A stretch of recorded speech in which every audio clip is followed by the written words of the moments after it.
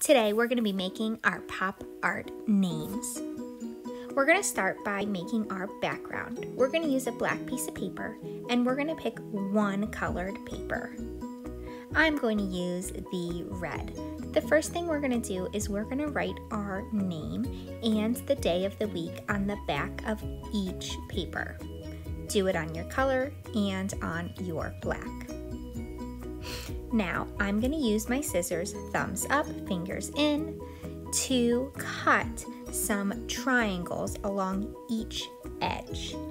These are those spikes like we saw in the artist artwork.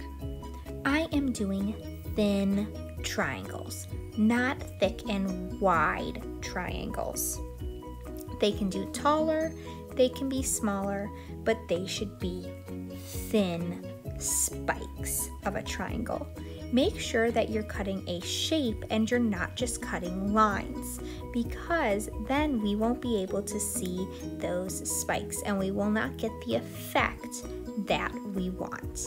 We're going to repeat that along every edge of our colored paper.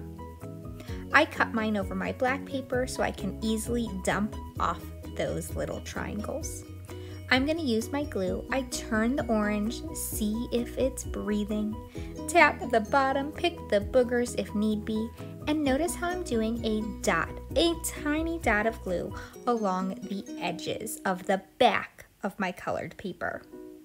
Now I'm going to carefully place that colored paper on my black and rub it into place. Once we have our background done, we're gonna add another layer. You can choose one of the colors, a white or one of the other primary colors. I'm using white. If you use white, you're able to use markers. Just the primary color, so that is our blue, our red, or are yellow to add some dots just to the white one. So if you want to do the dots, grab a white. You're gonna take your marker and put the top on the back and you're gonna carefully draw your dots. You're not smushing and smashing that marker to make dots. You're drawing dots, which means you put your marker down and you make that circle. But make sure it's all the way filled in and you want all your dots about the same size. That gives us that comic book look. Don't forget your name on the back. And again, we are going to cut spiky triangles. Remember, thin. This time, we want to cut a triangle at every corner of that square paper. So I'm turning mine to get every single corner complete. I'm gonna take those scraps and throw them out. I'm gonna grab my glue bottle and add a tiny dot of glue on the back. Now watch as I put mine down. I can have it going the same direction as the other papers, or I can turn it on its side. It is up to you, whichever look you like the best. Rub and pat,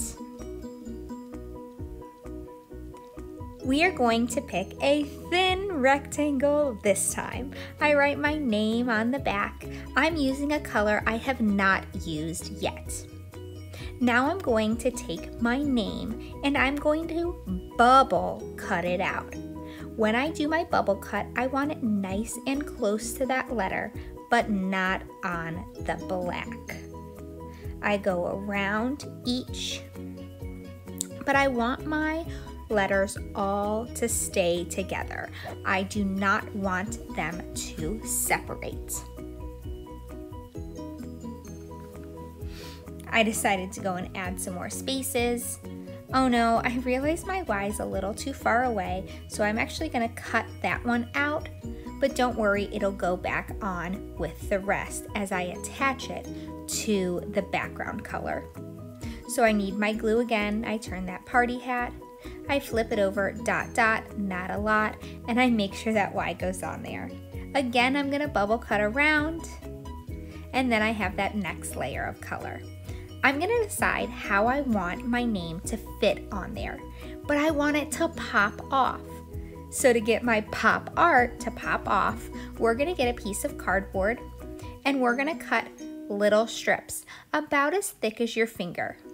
So chomp that cardboard up and then we are going to attach it to the back of our name.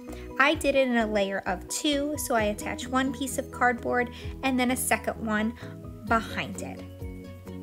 Now I'm going to take that, turn it over, and attach it whatever direction I want it on my paper. I am careful as I press this. Now if I look, my name is popping off.